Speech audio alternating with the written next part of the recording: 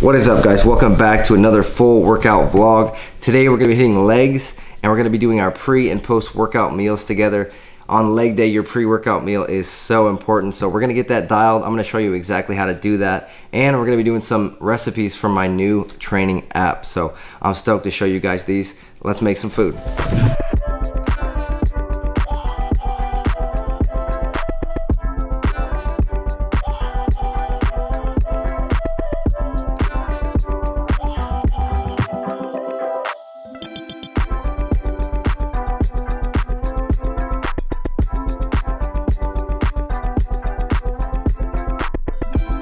Well, there you go. We got our pre-workout meal, six egg whites, one full egg.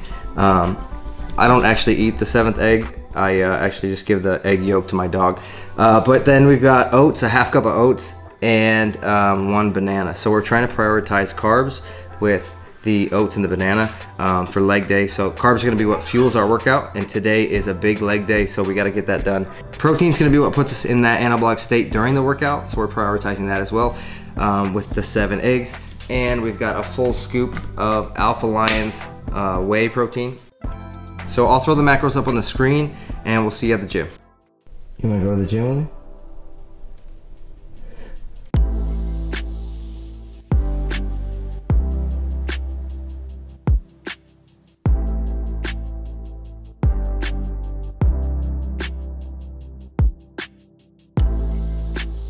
Okay, so as always, when we get to the gym, the first thing we want to do is get the blood moving um, in our whole body, but also in the specific area that we're looking to train. So today we're going to hop on the stationary bike uh, for about five minutes just to get the blood going. Um, and like I said, get, get the blood moving in our legs. I mentioned it before, but this also helps prevent injuries and it actually increases performance in the gym. So definitely if you've been skipping your five minute warm up to save time, I definitely reconsider that. Okay, the next thing you want to do on a leg day um, is do some dynamic stretching here before we jump into our first movement, which today is going to be back squat. The first thing I like to do is just do some static uh, squat sits here, and I'll, I'll rock from side to side, kind of get some hip mobility um, action in this as well. Just get comfortable sitting down in that deep squat. And then from this position, I'm going to do some hip openers. You're going to take your hand, um, grab the opposite leg, and then twist up, pointing to the ceiling. We're going to repeat this a couple times before jumping into some leg swings. So I'm going to start by doing some leg swings facing the bar and just really focusing again on opening up our hips here, getting them ready for that heavy squat. Uh, I'm going to do both sides and then I'm going to switch to some leg swings where I'm actually parallel with the bar here um, and I'm kind of swinging forward in front of me.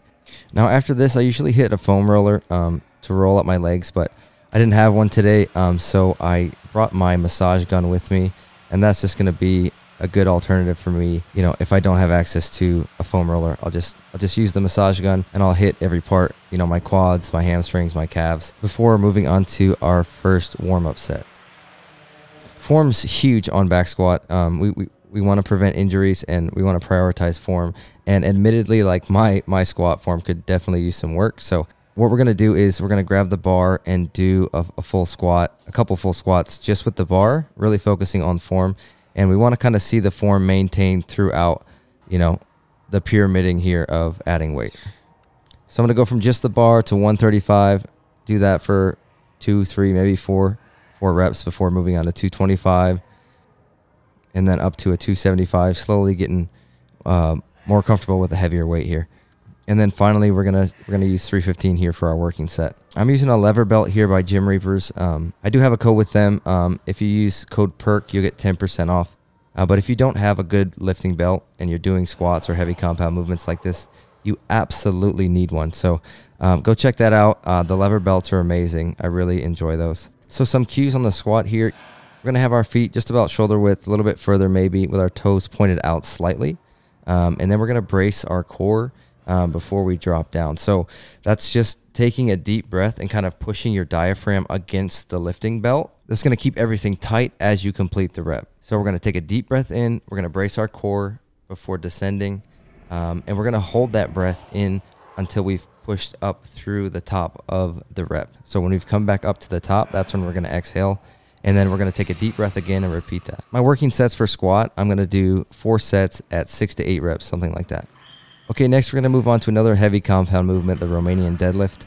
If you know me, this is one of my favorite movements for, for targeting hamstrings. It's one of my favorite compound movements just all around. It, it hits your lower back as well. It's, it's, it's an amazing movement. And this thing will destroy your hamstrings if you do this properly. One thing I will suggest is using lifting grips for these, um, especially, you know, the heavier you go, you want to take your grip out of the equation like we've talked about before.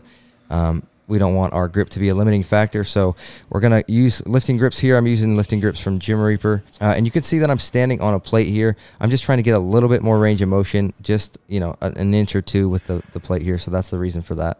So after we unrack the weight, we're going to hinge at our hips. We're going to push our hips backwards um, and slowly lower the weight down kind of on our shins while maintaining a neutral spine. So you don't want to be looking up. You don't want to be looking down you just want to be looking straight ahead. So it, as you come down, let your head come down, keep your spine neutral. I usually hit these for four sets, around eight to 10 reps. I'm focusing a little bit more on glutes today, so I'm going to go ahead and hit the reverse V squat.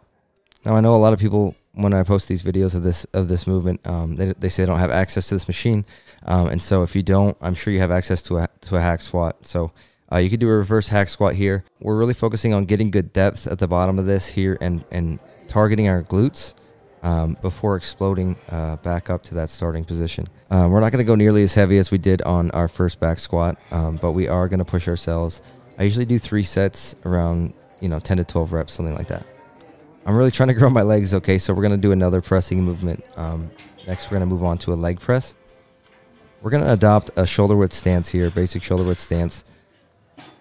I'm sure you've seen all the instructional videos about you know where to put your foot placement on on the platform for leg press and how that targets different um, parts of your leg. So if you put your legs up high and wide, that's gonna target your your glutes a little bit more than if you put your, your legs close together um, towards the bottom. That's gonna that's gonna hit your quads a little bit more. So we're going somewhere in the middle, just a regular shoulder width stance, probably more quad focused um, than anything else. A little bit lighter on the weight again, but we are going to keep the RPE high. Um, and so we're going to go close to failure. I mean, leaving one to two two reps in the tank here. So RPE 8, RPE 9, something like that. Three sets at, I don't know, 8 to 10 reps. It just depends on how I'm feeling that day. We're going to double up on hamstring movements here. Um, we're going to do a standing leg curl. I played college football and I had a lot of tears in my hamstring. And you can actually see some of the scar tissue um, as I'm working my hamstrings here. That does not look normal. And it's like a, it's basically a minefield from from playing uh, college football. But so I've I've really come a long way. Really tried to strengthen my hamstrings because there was there was such an injury there, and there's so much damage there and scar tissue, uh, and it actually caused a muscle imbalance in my lower back. So I've really been focusing on ever since I've you know graduated college. I've really focused on lifting heavy with my hamstrings. So we're gonna go heavy on these um, three sets, eight to ten reps each leg. Hitting quads next. We're going to do leg extensions. Pretty basic, but um, I will say you, you want to make sure that you keep your butt in the seat here. So those handles on the side are there for a reason. Um, so grab those handles, pull your butt tight into the seat, and you want to maintain that position as you extend your legs. I do like to go a little bit higher with the rep range um, for these, somewhere between 12, 15, sometimes even 20 reps for these. We've already got some quad work in, so we're just kind of burning them out at this point. Um, Really push yourself here though, and uh, y- you can if you if you kind of point your toes in while you're doing it. That's going to target your outer quad a little bit more. Um, so I like to do a set of them straight and a set of them inward and a set of them outward just to mix it up and make sure I'm hitting every part of my quad. All right, we're going to move on. I call this one the sus machine. Um, this is the abductor. We're going to focus on hitting our glutes with these. And it's one of the last movements that I do. And if I'm feeling up for it, I'll do it. But sometimes I'll just skip it. Um, but today, for the sake of the leg day vlog, we're just going to hit some um, three sets here, probably eight to 10 reps. Again, keep your butt in the seat, pull yourself down. Try to stay upright with your upper body. You can lean forward slightly. Um, that is going to help you get a little more leverage. Okay, we can't hit a leg day without hitting calves. I know that you're aware of that, but I will say I do sprinkle calves in to other workouts throughout the week. So I'm not hitting calves only once a week. Right now, I'm hitting legs once a week, but that's because I recently switched from hitting legs twice a week to hitting legs once a week. So, whatever muscle I feel like is lacking, I'm going to focus on that for a period of time. And then once I'm happy with that, then I'll switch to uh, the next muscle group that I think needs to come up a bit. So, all that to say, you got to be hitting calves um, no matter how many times you're hitting legs a week. If your calves need work, I would say two to three times a week. And you can sprinkle them, like I said, in at the end of other workouts. And that's it. Pretty simple leg day. We're going to hit the stationary bike just for a little bit afterwards, probably 20, 25 minutes, probably around 300 calories burned, something like that. I get a lot of comments on, oh, isn't that too much volume um, on, on most of my workouts, but, but specifically my, my leg workouts. And I think that people just don't understand like 15 to 20 working sets a week is the standard for a, a beginner to intermediate. So if you're a more advanced trainee, 20 to 30 working sets a week is the sweet spot. And and even beyond that, like we don't maybe actually know the upper end of what is actually too much volume and that differs from person to person. So I know people think that this is probably too much volume and it might be for them. It just depends on your level. Uh, but chances are you're seriously underestimating your amount of volume you can handle for hypertrophy. Okay, we're gonna head home. We're gonna make a post workout meal from one of my recipes for my training program. So we'll see you back at the house.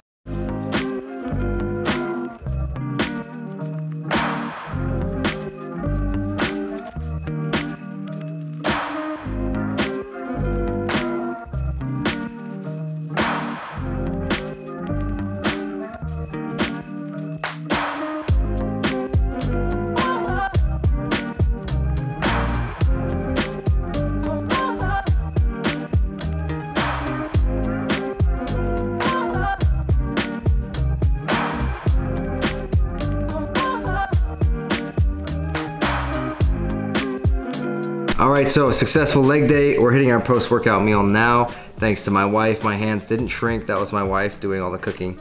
Um, that sounds really misogynistic.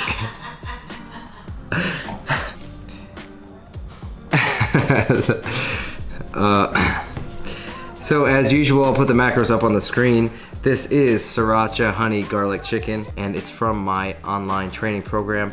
Um, if you're interested in that, check it out, perkfitt.com, and we'll see you on the next one.